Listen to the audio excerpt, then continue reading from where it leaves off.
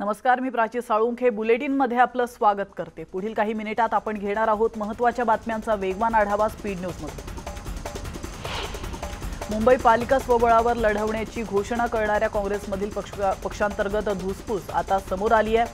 भाई जगताप आणि झिशान सिद्दीकींमधील अंतर्गत वाद थेट दिल्ली दरबारी पोहोचला आहे झिशान सिद्दीकींनी भाई जगतापांविरोधात थेट सोनिया गांधींना पत्र लिहिलंय.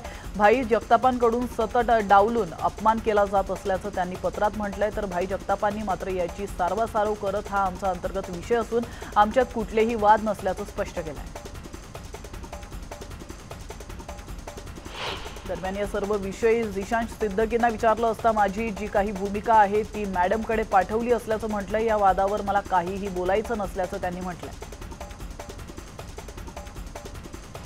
दरम्यान काँग्रेस प्रदेशाध्यक्ष नाना पटोलेंनी काँग्रेसमध्ये कुठलाही वाद नसल्याचं त्यांनी म्हटलंय आणि काही प्रमाणात झालेल्या वादाला प्रसिद्धी द्यायची काय गरज असा सवाल नाना पटोलेंनी विचारला. आणि आता बातमी आहे एस टी कर्मचाऱ्यांच्या संपासंदर्भातील हायकोर्टानं दिलेल्या आदेशाप्रमाणे समिती गठीत करण्यात आली आहे. या समितीची आज पाच वाजता बैठक होणार आहे आणि यानंतर ही समिती आपला अहवाल मुख्यमंत्र्यांकडे देतील अशी माहिती परिवहन मंत्री अनिल परबांनी दिली आहे. तसंच हा प्रश्न चर्चेतूनच सुटू शकतो. मी कुणाशीही चर्चा करण्यासाठी तयार आहे. चर्चा करायला येतात आणि जातात पण परत कुणीच येत नाही असंही अनिल परब म्हणाले तसंच विलिनीकरण मागणीवर तुर्तास पर्याय नसल्याचंही परब म्हणाले भाजपच्या राज्य कार्यकारिणीची बैठक सध्या सुरू आहे. दादर वसंत स्मृतीमध्ये ही बैठक सुरू असल्याचं कळत आहे.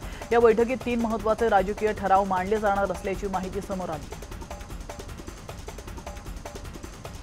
राष्ट्रवादी काँग्रेसचे सर्वेसर्वा शरद पवार हे उद्यापासून चार दिवसांचे विदर्भ दौऱ्यावर आहेत. या दौऱ्यात ते विदर्भात मुक्कामाला राहणार असून नागपूर चंद्रपूर गडचिरोली वर्धा आणि एक यवतमाळ या पाच जिल्ह्यात प्रत्यक्ष जाऊन पदाधिकाऱ्यांची भेट घेणार आहेत. माजी गृहमंत्री अनिल देशमुख यांच्यावर ईडीचा ससेमिर्या लागल्यानंतर विदर्भात राष्ट्रवादी काहीशी वाऱ्यावर असल्याचं पाहायला मिळत होतं. मात्र शरद पवारांच्या या दौऱ्याने राष्ट्रवादीला नवी उभारी मिळण्याची शक्यता आहे.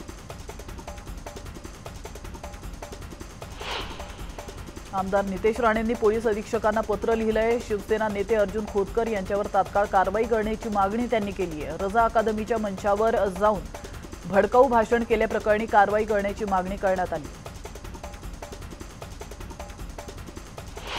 नवाब मलिकांनी पुन्हा एकदा ट्विट करून वानखेडेंना डिवचलंय. क्रूज पार्टी प्रकरणातील व्हॉट्सअप चॅटचा उल्लेख करत मलिकांनी समीर वानखेडेंना लक्ष केलंय.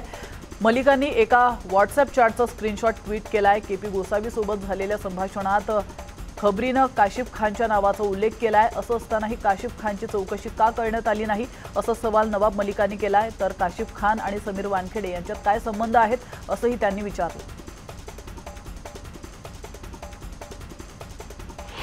अमरावतीत रजा अकादमी संघटनेने हिंसा केली असा आरोप भाजपकडून होतोय.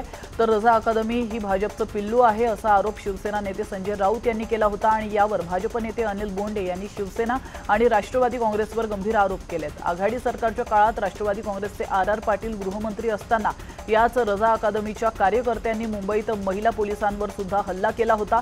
त्यामुळे यांचे रजा अकादमी सोबत असलेले संबंध उकडून काढावे आणि त्यांची चौकशी करावी अशी मागणी अनिल बोंडे यांनी केली. आहे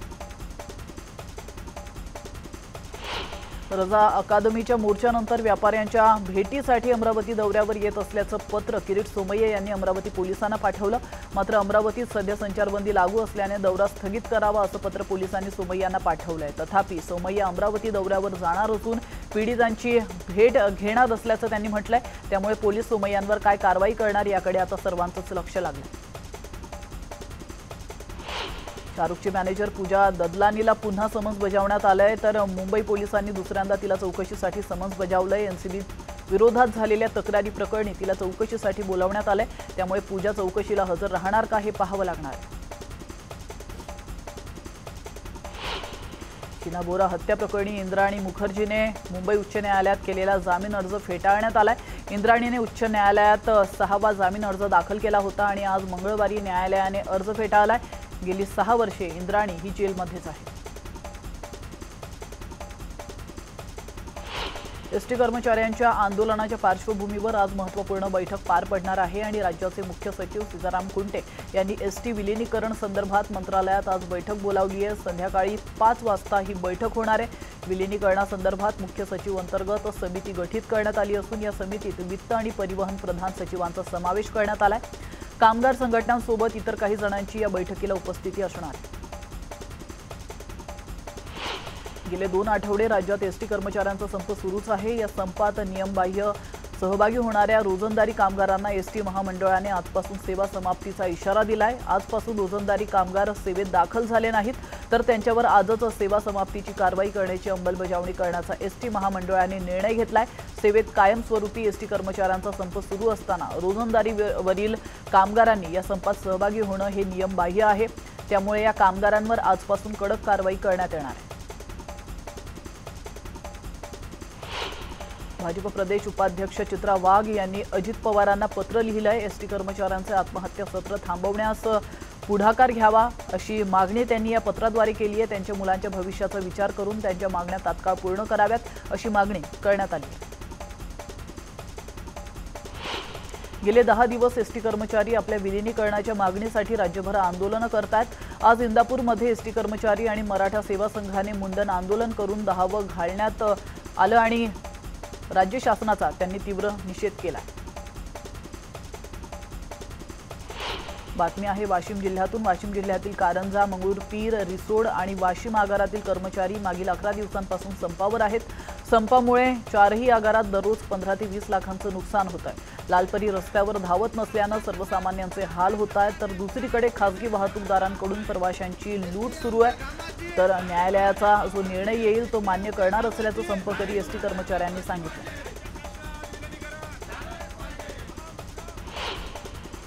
जळगाव जिल्ह्यातील मुक्ताईनगर एसटी आगारातील संपकरी एसटी कर्मचाऱ्यांनी राज्य शासनाचे लक्ष वेधण्यासाठी थाळीनाद आंदोलन केलं. एसटी कर्मचाऱ्यांच्या संपावर अद्यापही कुठला तोडगा निघत नसल्याने एसटी कर्मचारी संतप्त झाले असून थाळीनाद करत एसटी कर्मचाऱ्यांनी राज्य शासनाचं लक्ष वेधलं.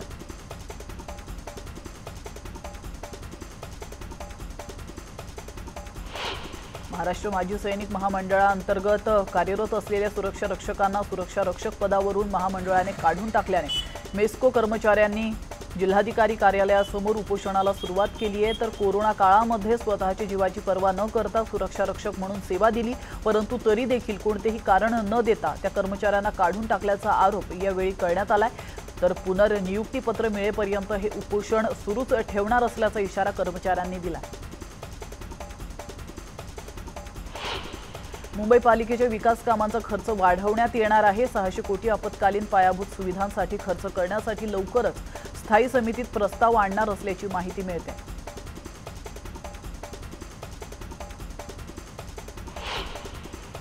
आज आणि उद्यासाठी कोपरी येथील मुंबई आणि ठाणे यांना जोडणारा जुना कोपरी पूल हा चाचणीसाठी बंद करण्यात आला आहे. सकाळी साडेसात ते सायंकाळी साडेदहा आणि संध्याकाळी पाच ते नऊ दरम्यान बंद ठेवण्यात येणार.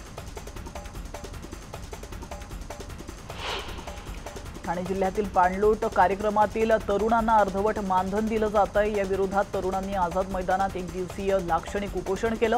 शासनाची कल्याण तालुक्यातील अकरा गावांमध्ये वसुंधरा पाणलोट विकासाची दोन हजार सोळापासून कामं सुरू आहेत. मात्र या कार्यक्रमात काम करणाऱ्या तरुणांना प्रशासनाकडून अर्धवट मानधन मिळत आहे प्रशासकीय अधिकाऱ्यांकडून या तरुणांची पिळवणूक होत असल्याच्या निषेधात या तरुणांनी आझाद मैदान या ठिकाणी एक दिवसीय लाक्षणिक उपोषण केलं.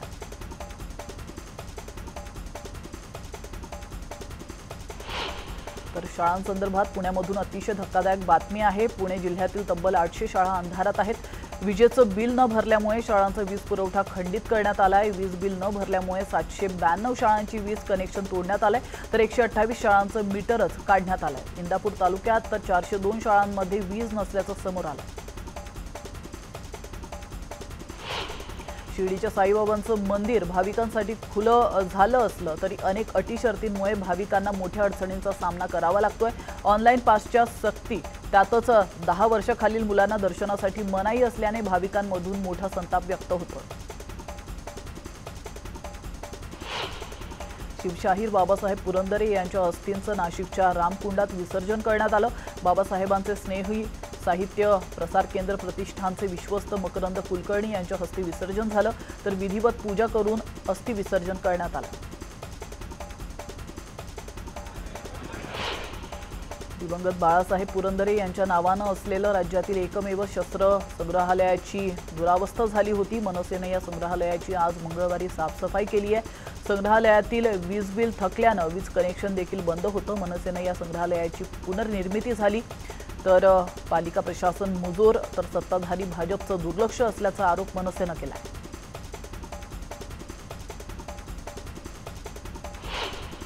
मध्य रेल्वे उपनगरीय मार्गावरून विना तिकीट प्रवास करणाऱ्यांवर नियंत्रण मिळवण्यात रेल्वे प्रशासनाला अद्याप यश आलेलं नाही. एप्रिल ते नोव्हेंबर या आठ महिन्यांमध्ये उपनगरीय मार्गावर तब्बल चार लाख पासष्ट हजार विना तिकीट प्रवास करणाऱ्या प्रवाशांची धरपकड करण्यात आली.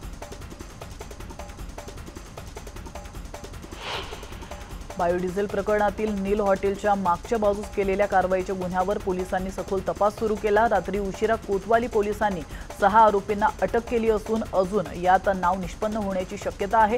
तर या गुन्ह्यातील मुख्य सूत्रधार संजय साबळेची सखोल चौकशी केल्यानंतर सहा आरोपींची नावं समोर आली आहेत. त्या सहा आरोपींना अटक करण्यात आली असून आज मंगळवारी त्यांना न्यायालयात हजर करण्यात आलंय. तर तपासानंतर यामध्ये अजून आरोपी वाढण्याची शक्यता आहे. मुंबईत आणखी एक आगीची घटना घडली आहे. सोमवारी रात्री नऊ वाजताच्या सुमारास कांजूरमार्ग पूर्व इथल्या मोबाईलच्या सर्व्हिस सेंटरला भीषण आग लागली होती. ही आग झपाट्यानं पसरत आणखी तीन कंपन्यांना या आगीनं भक्ष्यस्थानी घेतलं. दरम्यान अग्निशमन दलाच्या पंधरा गाड्या घटनास्थळी दाखल झाल्या होत्या. आगीवर नियंत्रण मिळवण्यात अग्निशमन दलाच्या जवानांना यश आलं. सोलापूर अक्कलकोट मार्गावर क्रुझरचे टायर फुटल्याने भीषण अपघात झाला. या अपघातात पाच जणांचा मृत्यू तर सात जण जखमी आहेत. जखमींवर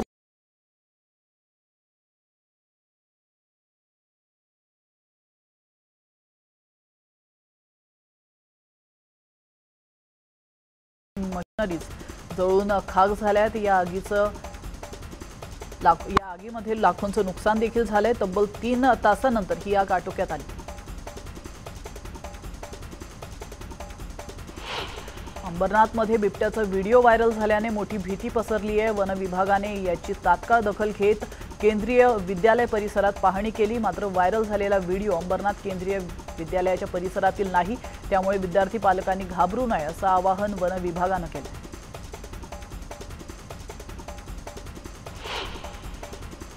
सार्थक ओमले आणि महादेव मिस्त्री अशी या दोघांची नावं आहेत. दोघेही धरणात पोहण्यासाठी गेले असता पाण्याचा अंदाज न आल्याने दोघे पाण्यात बुडाले. अखेर तिसऱ्या दिवशी म्हणजेच आज या दोघांचे मृतदेह अग्निशमन दल आणि पोलिसांना पाण्यातून बाहेर काढण्यात यश आले. यवतमाळ शहरातील वकिलावर क्षुल्लक कारणावरून प्राणघातक हल्ला करण्यात आला. या घटनेच्या निषेधार्थ वकील संघाने अवधूवाडी पोलीस ठाण्यात आरोपी विरुद्ध कडक कारवाईची मागणी केली तसंच जिल्हाधिकारी यांना देखील निवेदन देण्यात आलं. प्रभादेवी परिसरात सोसायटीच्या सुरक्षा रक्षकांविरोधात तक्रार केली म्हणून महिलेला बेदम मारहाण करण्यात आल्याची धक्कादायक घटना घडली आहे. दोन महिला सुरक्षा रक्षकांनी तरुणीला बेदम मारहाण केली आपण या दृश्यांच्या माध्यमातून पाहू शकतो ही संपूर्ण घटना सीसीटीव्ही कॅमेऱ्यात कैद झाली. याबाबत शिवाजी पार्क पोलीस ठाण्यात गुन्हा दाखल करण्यात आला.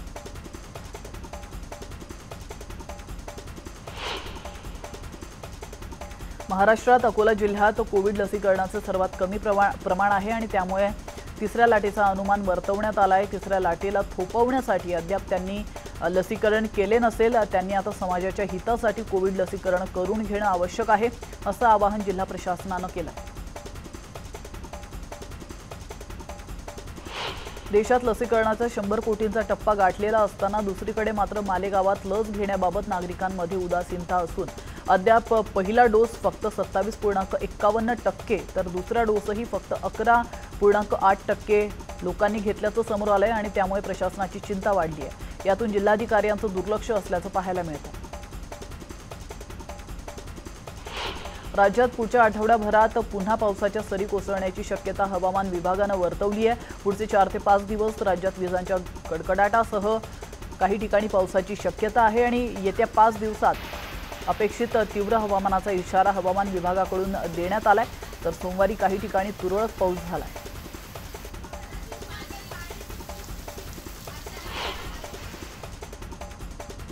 इथं घेतो एक छोटासा ब्रेक लगेचच परत येतोय. तुम्ही पाहत राहा स्पीड न्यूज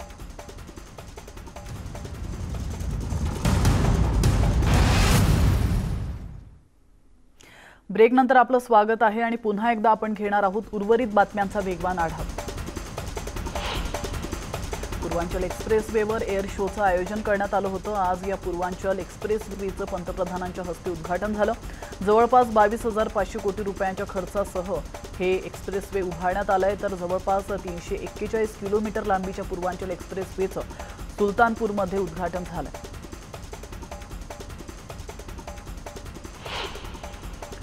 कोरोनानंतर राज्यावर आता प्रदूषणाचं संकट उभं राहिल्याचं दिसतंय. दिल्लीनंतर मुंबईतल्या प्रदूषणात वाढ होत असल्याचं दिसतंय. तर कोरोना काळात राज्यातील प्रदूषण कमी झालं होतं मात्र कोरोनाचा धोका कमी झाल्यानंतर पुन्हा राज्यातील प्रदूषण वाढण्यास सुरुवात झाली. सोमवारी राज्यातील हवेच्या गुणवत्ता निर्देशांक हा मोठ्या प्रमाणात खालावल्याचं पाहायला मिळालंय. मुंबईतील हवेच्या प्रदूषणाची पातळी दोनशे पंचेचाळीस एक्यूआयच्या जवळ गेली.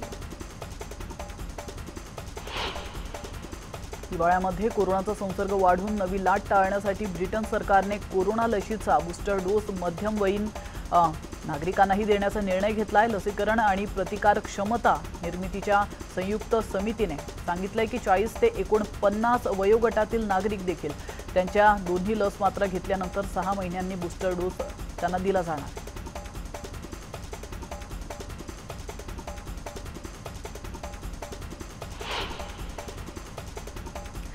यासोबतच स्पीड न्यूजमध्ये वेळ झाली इथंच थांबण्याची. मात्र तुम्ही कुठेच जाऊ नका पाहत रहा न्यूज एटीन लोकमत.